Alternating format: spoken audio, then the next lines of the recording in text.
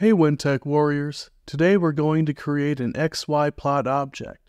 So buckle in, it's going to be a wild ride. Start by selecting XY plot from the Chart drop-down list within the Object tab. Within the General tab, you can name the object within the comment field. The control address section is where you designate the address used to control the drawing of the data points. Entering different values in the control address triggers different commands. Entering 1 will draw the XY data points, entering 2 will clear all XY data points, and entering 3 will clear the XY data points and redraw them. The number of data control address allows you to specify the total number of points per channel before drawing the curve. You can configure a maximum of 16 channels with 1023 data points. The number of channels can be configured in the Number of Channels field. We'll add two channels for this example. You can configure each channel independently by choosing it from the Channel drop-down list.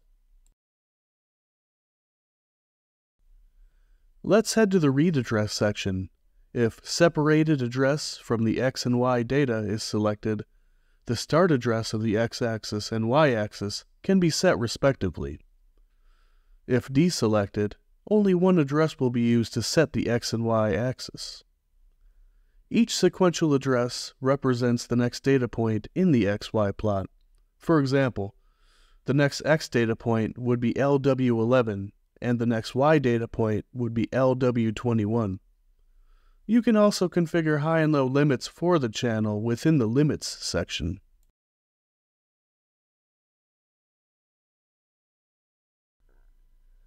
In the Display Area tab, in the Marker drop-down list, you can define the style of the plot. I'll stick with the classic line for this example. You can also choose frame and marker colors. You can also choose where you would like the reference lines to appear in the plot. Reference lines are the horizontal lines on the plot that indicate the low and high limits.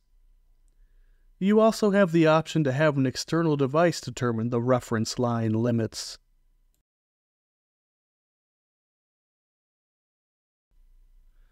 In this demo project, we've got the XY plot object that we configured earlier. We have set word objects that write constant values into the control address, and we have our X and Y data fields that will add data points to the plot. Let's run a simulation to see this project in action. I've set a value of 6 into the number of data points register, and I've got data point values entered into the X and Y axis fields. When I select Draw, the XY plot comes to life. When Clear is selected, the plot is cleared.